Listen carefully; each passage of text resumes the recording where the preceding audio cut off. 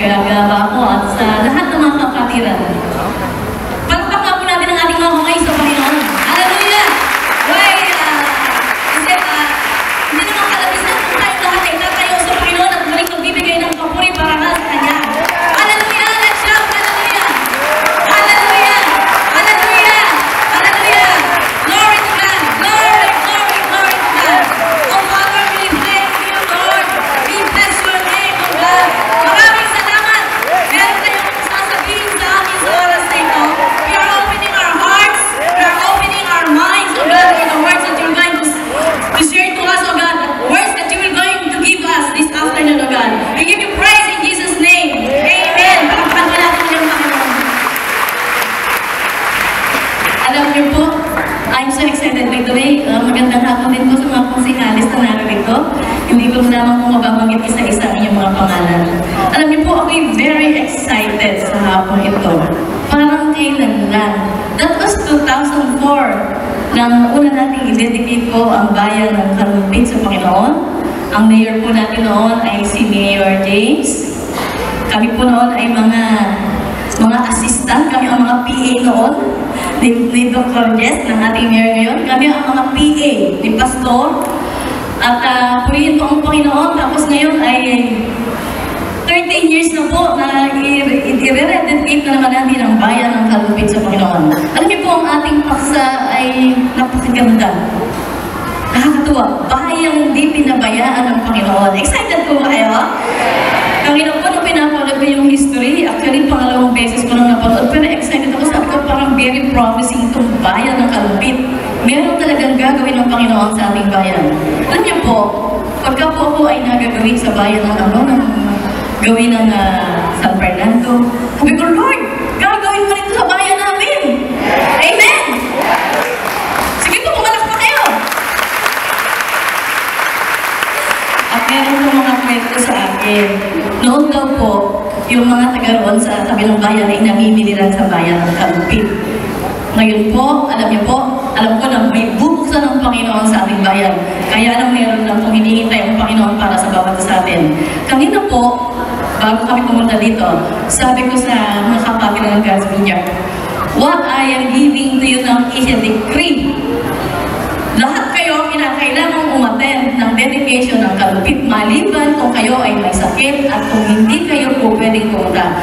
Sapagkat gusto ko na makita ninyo, gusto kong masaksihan nyo ang muling pagre-rededicate ng kalupit at ang pananalangin kay isa kayo doon. Sapagkat sabi ko, this is history. Amen? This is history.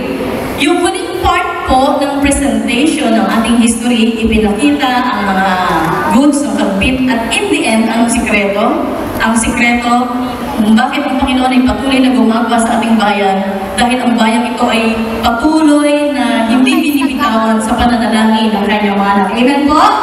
At ngayon, mapalad tayo. Sabihin niyo po sa inyong katabi, mapalad ka. Narito ka ngayong hapon. Tutuwin ng Panginoon panalangin.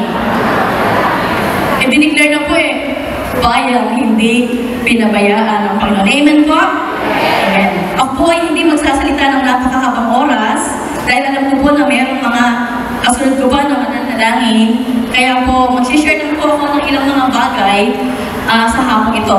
By the way, ang ating pong ay hinango po sa Isaiah chapter 62. But gusto ko pong ah, basahin mo ng ilang talata na sinasabi sa awit. Ito po ay mga pamilyar na talata sa inyo. Psalms 127 verses 1 and 2. Ang sabi po dito, Unless the Lord builds the house, they labor, they labor in vain who build it.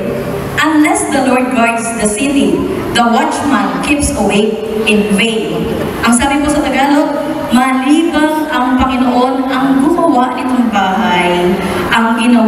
nagtayo ay wala rin kabuluhan. Ang lungsod na hindi ang Diyos ang nagsasanggalang, walang saysay ang naroong nakatayo, mga bantay. Amen po ba? Alam niyo po kahit gaano kagaling ang ating ah, pamumuno, kahit gaano tayo kahusay, alam niyo po, sasabihin pa rin po natin na kailangan pa rin natin ng Panginoon. Kailangan pa rin po natin ng Panginoon ang Panginoon po ang magtitindig at patuloy na magbabantay ng bayan ito. Ako po'y natutuwa kasi alam niyo po, ninamahal na Mayor, hindi po sa lahat ng lugar ay ginagawa ang ganitong pagtitipon. Alam niyo po, mapalad tayo dahil tayo ay uh, nagkakaroon ng ganitong gawain. Imagine from different churches. Sabi ko po, ilan ba ang churches dito sa Malupit? Alam niyo po, ang sagot sa akin ng isang secretary dito ng ating namang mayor, I think more than 30 churches sa Malupit. Ang tayo ngayon, itong gathered nito, this is history why ginather tayo ang Panginoon ang tumawag sa atin dito. Palakpakan pa natin ang Panginoon.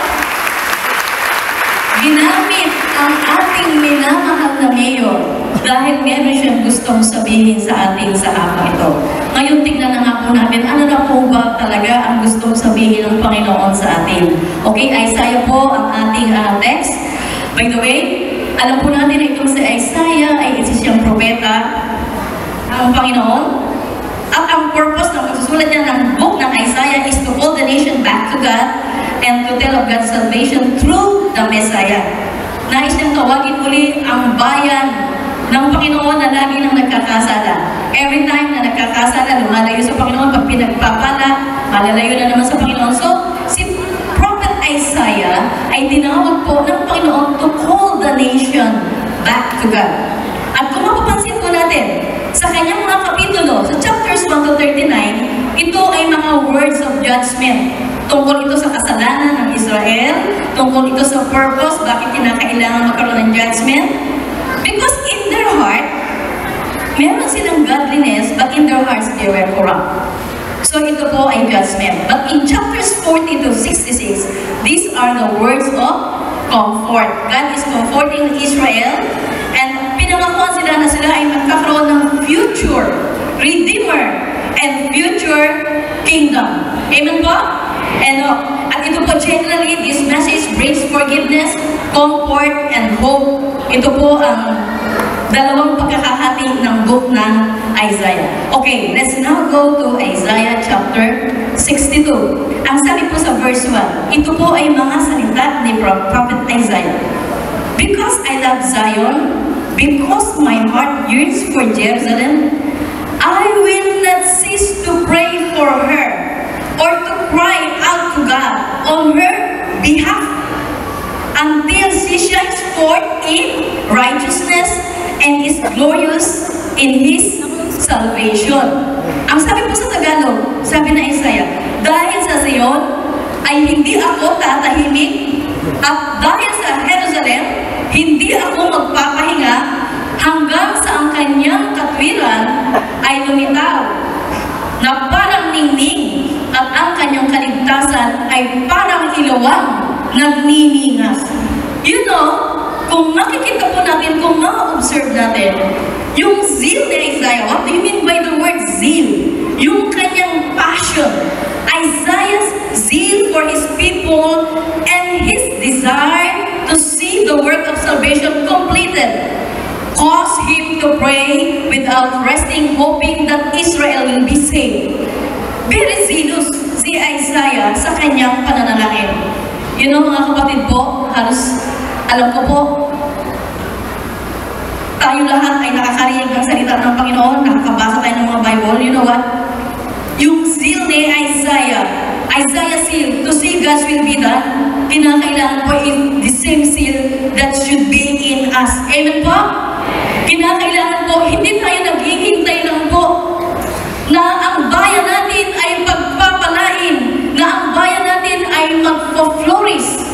We need to do something. What is that thing na dapat natin gawin? Kinakailangan very zealous, very passionate po tayo sa pananalangin. Amen? Amen po. Alam niyo po dito, every Monday meron silang flag ceremony and then kabahagi po doon yung paghahayag ng salita ng Diyos at pananalangin. Alam niyo po, ang goal ng mga churches is to back up what is happening here in this municipality, in this town. Amen po? Amen! Alam niyo po, tapos na ang panahon ng pananalangin ng mine, my selfish prayer. This is the time for us not to pray only for our personal needs, but this is the time for us to pray for our town. Amen! Hello? gusto ng Panginoon. Ito ang hinihintay ng Panginoon. I know God has plenty of blessings for kalumpit. Baka po yung natak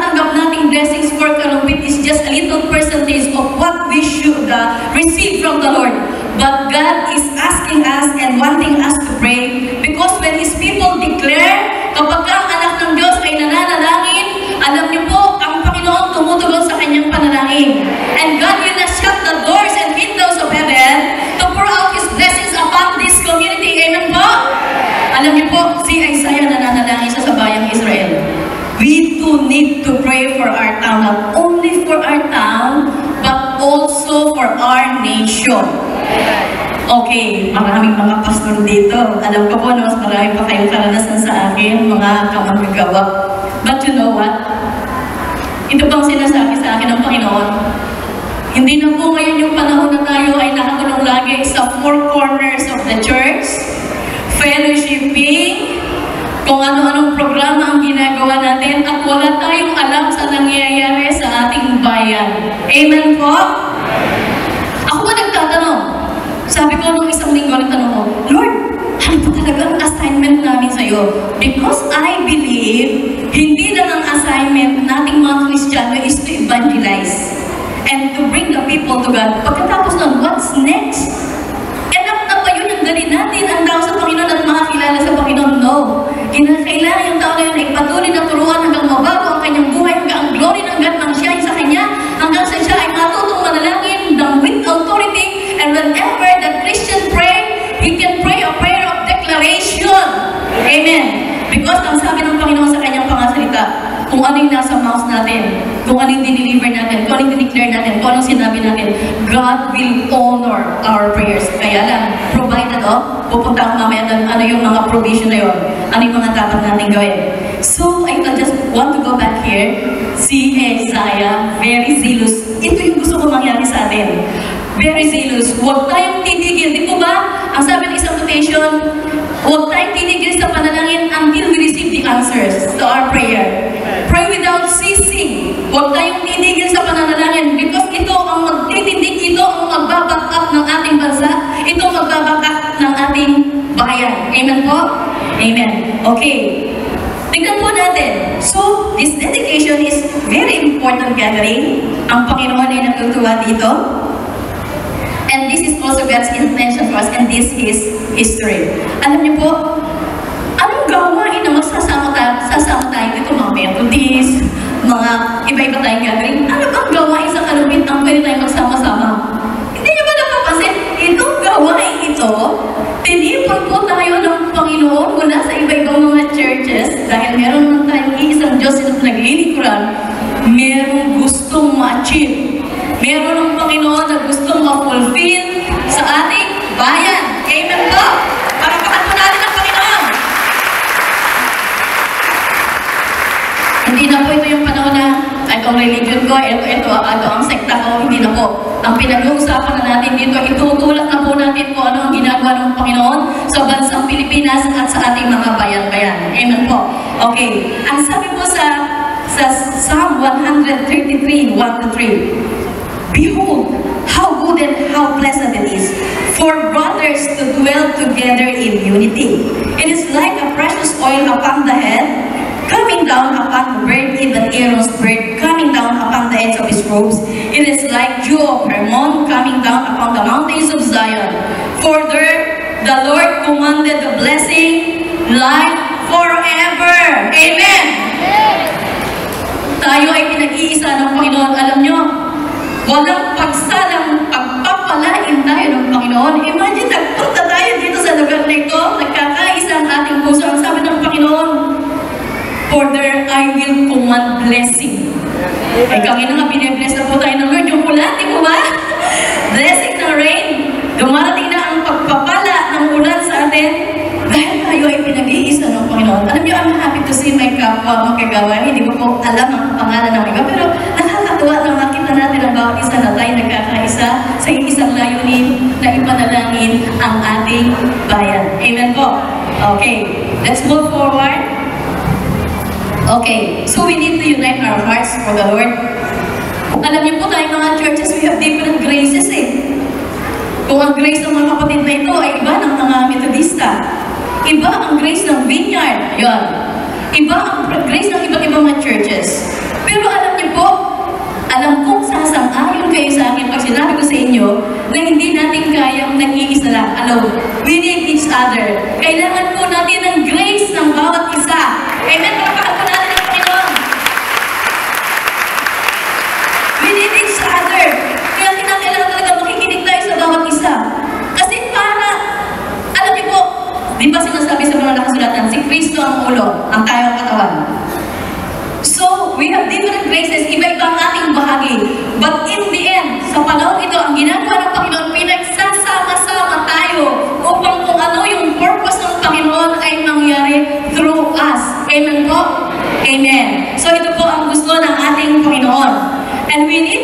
Other to establish His kingdom on earth. Alam nyo, yun pong paulit-ulit na kinakanta kanina. Ah. God is fighting for us. Ano yun? Pushing out the darkness, lighting up the kingdom that cannot be shaken. The songs that we are singing are so powerful. You know, we don't know, but in the atmosphere, in the spirit world, the devil because here are the group of people, mga anak niyang nananalangin. God is fighting for us. Actually, we are declaring. Tayo ay nagdedeklara na ang Panginoon ang lumabalaban para sa atin. Pero alam natin, tinitiyak ng Panginoon na tayo magtagumpay na. God is fighting for us, pushing out the darkness, lighting up the kingdom that cannot be shaken. Amen. The kingdom that God has given to us is the kingdom that cannot be shaken. What do you mean by that? Talapakan po natin ang Panginoon. Ibig sabihin, ano man ang nangyari sa atin, tayo mga mananampalatay, tayo anak ng Diyos, ano man ang nangyayari sa atin, we remain very still. Ang sabi nga ng Panginoon sa kanyang salita, be still and know that I am God. We remain strong, we remain standing, whatever happens, because ang Panginoon, ang kingdom na binigay ng Panginoon sa church, ang kingdom na binigay ng Panginoon sa atin, kingdom that cannot be shaken, kingdom that cannot be moved by the devil. Amen! Amen! Kanina nakita nyo, maraming blessing sa karupit, maraming water, and it overflows. Nakakatuwa naman yun sa history na yun, ha? Umangapaw ang tubig, but in spite of those overflowing waters, we still can smile. Sapagkat naniniwala tayo na hindi tayo pinababayaan ng ating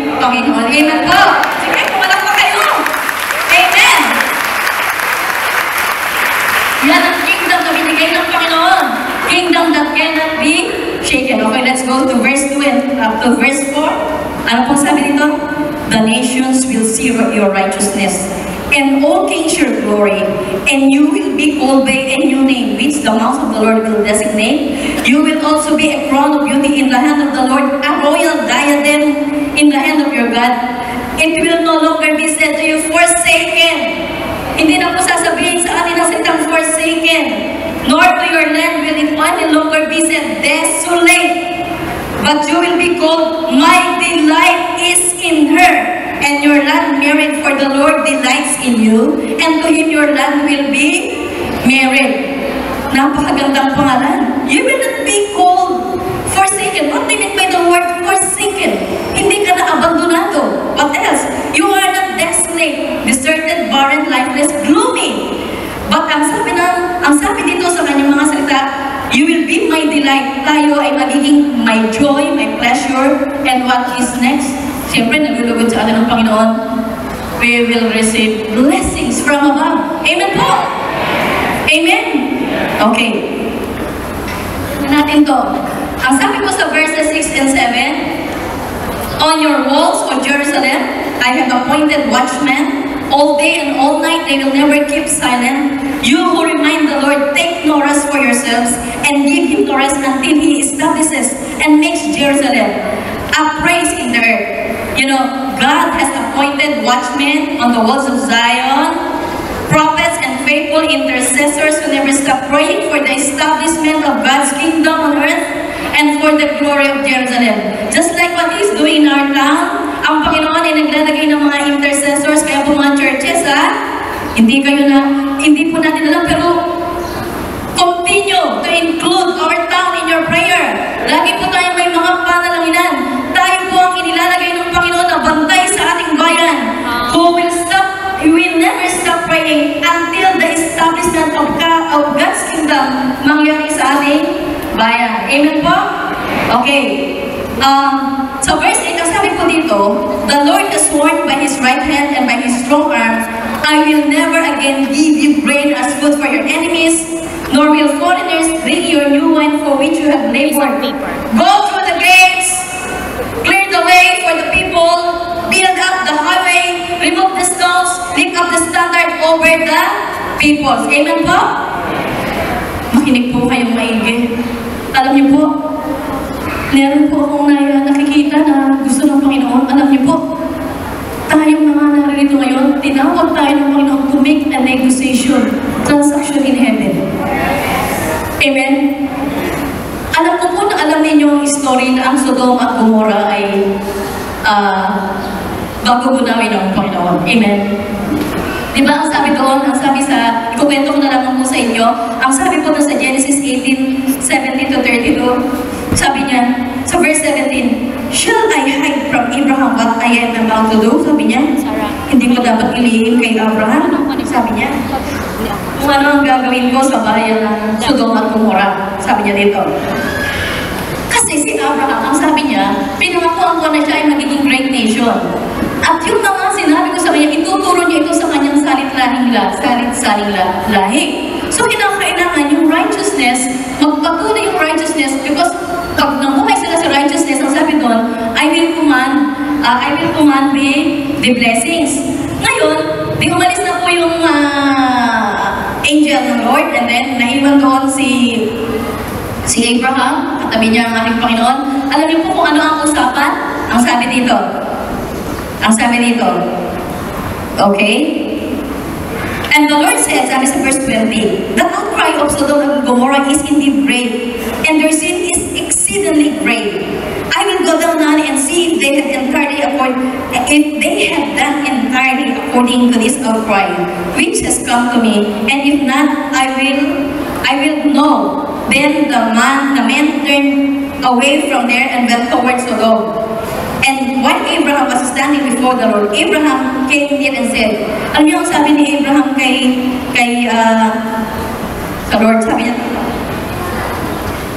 Will you indeed sweep away the righteous with the wicked? Panginoon, kapag ka ba ikaw ay nakakita ng limangpong matutuwid, ay wawasakin mo pa rin ka ang Sodom at Gomorrah. Sabi niya, paano yun yung mga matutuwid dun sa mga, ano, ay masasama dun sa mga matutuwid? Sabi niya, alam niyo ang sabi ng Panginoon, alang-alang sa limangpong matutuwid, sabi niya, I, will spare the place for the sake of the 50 righteous who are in. Tapos, ang sabi na naman, and the, sa verse 26, okay, as well, verse 26, ang sabi ng Lord, If I find in Sodom 50 righteous within the city, then I will spare the whole place on their account. And Abraham replied, Now behold, I have ventured to speak to the Lord, although I am dust. Panginoon, ako po ay alibok lamang. Pwede po ba ulit ako makiusap? Eh kung akin na po kayo ng 45. Sabi ng Panginoon, I will, dis I will not destroy if I find 45 there. Panginoon, kung 40, sige, hindi ko rin gugunawin ang bayan ng Sodom. Sabi niya, kung makakakita ako ng 40. Ang sabi na ni Abraham, Panginoon, huwag kayong magagalit sa akin. Suppose 30 na lang ang righteous doon. Sabi ng Panginoon, I will not do it if I find 30 there. And then, ang sabi na naman ng Panginoon, Panginoon, makakasunod ako magtanong sa iyo. Sabi niya, kung makakita kayo ng 20 righteous, gugunawin mo pa rin ba ang Sodom at Gomorrah? And, and then he said, Oh my Lord, sabi niya, So, sabi ng Panginoon, hindi na naman kanyang gugunawin alang-alang sa 20. Then he said, Oh, may the Lord, Panginoon, huwag kayong magagalit sa akin. I shall speak only this once. Suppose ten are found there. And, and he said, I will not destroy it on the account of ten. But what happened? In Genesis 19, 27 to 28, now Abraham arose early in the morning and went to the place where he stood before the Lord. And he looked down toward Sodom and Gomorrah and toward the land of the valley. And he saw and behold the smoke of the land ascended like a smoke of a furnace. Ano pong ibig sabihin? Ibig sabihin, sampu na lang. Wala pang nakitang sampung righteous ang Panginoon. Kaya po ang Sodoma Right at after Gomorrah Pastor Lorna, certificate of appreciation will be given to her. So kindly prepare a background music instrumental ang ating bayan. Ang bayan natin, ang bayan natin, because dito kabaitan ng mga tao. But I believe God is still looking number of people to com- co- to release completely what God has intended for the town of Kalumpit. Amen po? Okay, ganito po. Ang sabi po sa Isaiah chapter 60 verse 1, ang sabi dito, Arise, shine, for your light has come, and the glory of the Lord has risen upon you. Alam niyo po mga kapatid, ang gusto po ng Panginoon tayo mga mananampalataya. Hello. Believers from any churches, anumang church ang ating pinagulat. Ang sabi ng Panginoon, ang gusto ng Panginoon, Arise, shine, for your light has come. Amen. Tapos na po ang panahon na tayo lagi nang pabalik-balik sa kasalanan, nag-i-struggle sa kasalanan, hindi ma-identify kung ano ang ating pagiging Kristiyano, sometimes Christian, sometimes not. No. Alam niyo po, ang Panginoon, ang gusto ng Panginoon, tumindig ang mga mananampalataya, i-share ang salita ng Diyos sa mga tao, ipabuhay ang salita ng Panginoon, mabago ang buhay natin at mabago ang buhay ng mga tao so that, katulad ng inawit po ng mga kapatid natin, we will going to pass the light, pass the word of God, at yung transformation na ginagawa ng Panginoon sa atin, matatransform din ang buhay ng ibang mga tao. You know what? Kasi alam nyo, hindi tayo pwedeng declare ng declare kapag ang buhay natin ay hindi maayos. Amen po? Anong sasabihin na ng are you? Declaring these things and those things? I don't know you. Alam nyo, kinakailangan po natin magkaroon ng stature.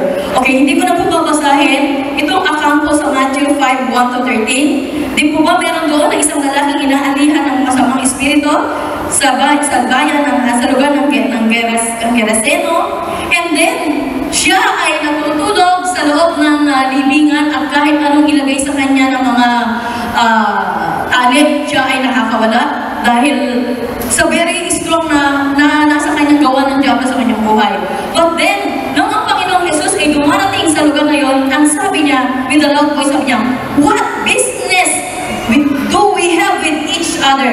Jesus, Jesus, Son of the Most High God, I implore you by God, I, I, I implore you, sabi niya, do not torment me. Amen. Okay, makinig po kayo. Ito ang gusto kong sabihin sa inyo. Yung lalaki na yun na inaalihan ng masamang espiritu. Yung masamang espiritu na nasa kanya, Diyan lang i-play. Nare-recognize niya ang authority ni Jesus. Okay, tayo po mga mananampalataya na tumanggap sa Panginoon, Ano, kaya ang sabi ng Panginoon. Arise, shine, for your light has come, and the glory of the Lord has risen upon you. This is the time for us to arise and shine so that the glory of God may be risen in us, so that when we declare in the atmosphere, there is power, the devil will going to obey us. Amen! Palakpakan po natin ang Panginoon. Nako, hallelujah! You know, you know what? This is the authority that we have from the Lord. Kaya ang gusto ng Panginoon, ayusin natin ang ating mga stature. If you are a Christian, mamuhay kang Kristiyano. Kung talagang ikay anak ng Diyos, ipamuhay mo ang salita ng Panginoon, mabago ang buhay, sumunod sa gusto ng sinasabi ng Panginoon, so that when you declare, whatever you declare, even the devil will, will bow to the authority that we have. So now we are all here gathering in this place. God is fighting for us, pushing out the darkness, lighting up the kingdom. Kapag kaya ay nanggagaling sa bibig ng mga anak ng Diyos na ang puso'y malinis at talagang meron siyang stature na talagang uh, makikilala ng kaaway, you know, the devil will just run away. Just by stepping in this place. Hallelujah! Just by stepping this place, the devil will going to run. Tatakbo ang diablo. You know, katulad po ng sinasabi ko sa inyo, God is looking for a number of people. Kaya lang ang Panginoon ko minsan nakasikreto. Hindi niya nasabihin kung ilan ang hinahanap niya. Ang nakakaalam lang doon ang, Lord. Pero ano ang dapat natin gawin ng mga mamamayan at mga mananampalataya dito sa kalupit? Kinakailangan maka, makapasok tayo sa requirement ng Panginoon na we are the group or number of people na hinahanap niya upang ang bayang ito ay patuloy na magawa ng Panginoon kung ano ang nais niya para sa ating mga bayan. Amen po? So what is important is our stature. If you're a Christian, act like a Christian. If you're a Christian, ipakita mo. So kinakailangan sa ating buhay makita ang pagbabago. Kinakailangan makilala, makita tayo ng Diablo na talagang tayo, anak ng Diyos, tayo nagdirinig ang, ang, ang salita ng Panginoon sa ating mga buhay. Amen po ba? Okay. Ang sabi po sa huling bahagi ng ating pag-aaralan. Okay. Sa verse Basahin ko ulit yung verse 10. Ang sabi dito, ipinapiprepare dito sa atin ang way ng Lord.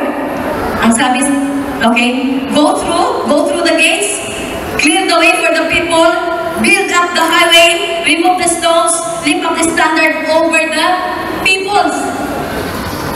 Ang ating pong mayor may ginagawa sila. Ang mga nasa munisipyo may ginagawa sila. Ang mga nanunungkulan ng mga politiko may ginagawa. Pero alam niyo po, tayo ang magtataas ng kanilang kamay, kamay kung papatuloy silang magtagumpay. Ang prayer ng righteous people very powerful. Amen po. Makapangyarihan ang panalangin ng kanyang mga anak na magtutula para ang gawa ng Panginoon ay patuloy na nangyari para sa ating bayan. Hallelujah! Amen po nun? Okay, sa huli po, alam niyo po ang gusto kong sabihin sa inyo, you know, we as Christians, we can charge the atmosphere. Kaya nating mag-charge. Amen. Naniniwala po ba kayo doon? You know what will happen if the atmosphere is not charged and if the atmosphere is unchanged? You know what will happen? Demonic spirits will continue to operate in the city. Will we, are, are we going to allow that? The demonic spirit will continue to operate in the city? What else? The other demonic power will going to work inside the city. And you know, yung business will shut away the business, progress, and development. But this can be broken by prayer and strategic actions of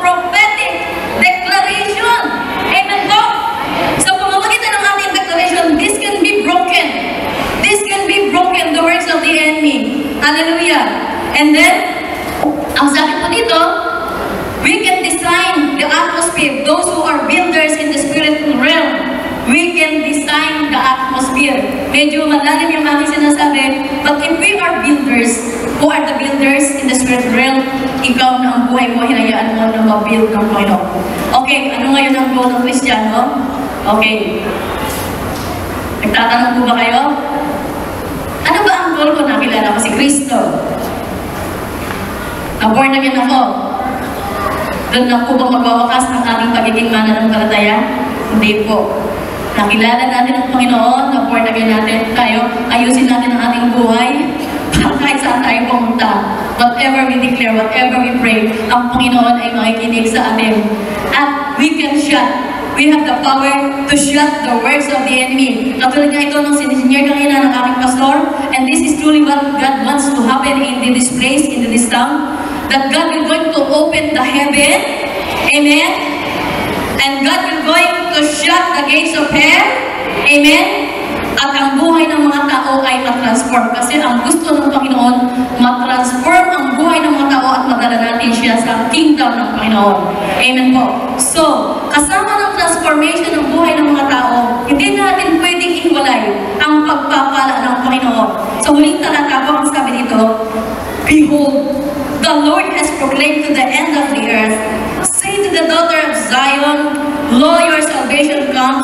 Behold, his reward is with him, and his recompense before him, and they will call them the holy people, the redeemed of the Lord, and you will be called sold out a city not forsaken. Amen?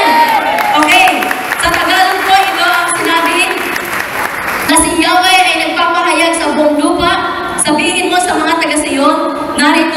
dumarating na ang iyong tagapagligtas, dala niya ang gantimpala sa mga hinira, siya ay tatawagin mga tao na banal na tinubos ni Yahweh, tatawagin siyang lungsod na minamahal ng Diyos, lungsod na hindi pinapayaan ng Diyos. Amen! Purihin ang Panginoon tayo mong lahat na ito ngayon. Sige po, let's, let's thank the Lord. Alam niyo po, I'm so excited. Alam niyo po, gusto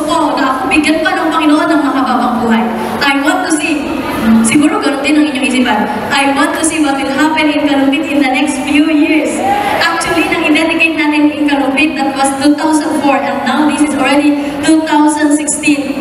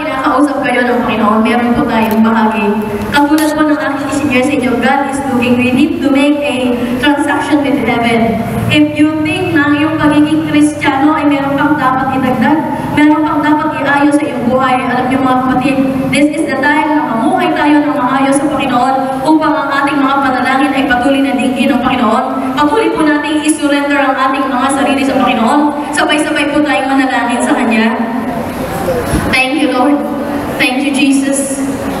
Thank you, Lord. Oh God, oh Lord Jesus. Thank you, Jesus. Thank you, Jesus. Thank you, Lord. Thank you, God. Salamat, Panginoon. Salamat po, Diyos. Oh God, oh Lord God. Salamat po. Panginoon, alam ko po, alam namin, Panginoon, ang patuloy mong kakausap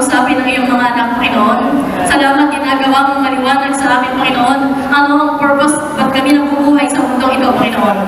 Lord, nabubuhay kami, narito kami sa kalupit, meron kaming assignment sa kalupit, yes. Panginoon. Hindi kami narito lang para, oh Lord, magkaroon ng fellowship sa mga churches, oh God. Hindi kami narito lang, Panginoon, upang sarili lang namin ang aming intindihin, Panginoon, but Lord, nais mo, Panginoon, na patuloy kaming magbantay para sa aming bayan, Panginoon Diyos. Oh God, maraming salamat po at ang dalangin namin, Panginoon, patuloy na magkuwali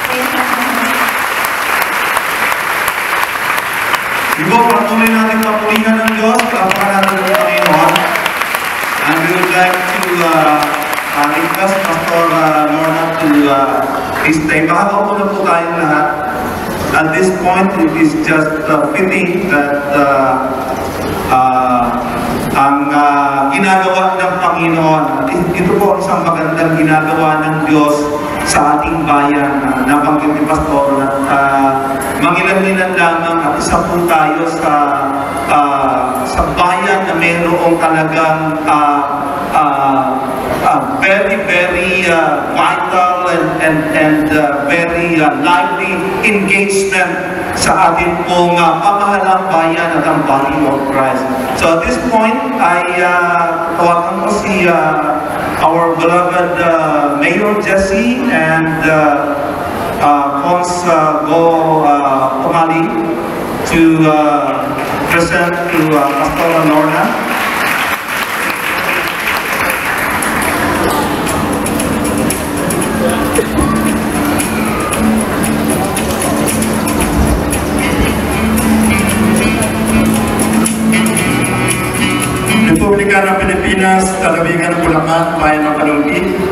Tanggapan ng punong bayan.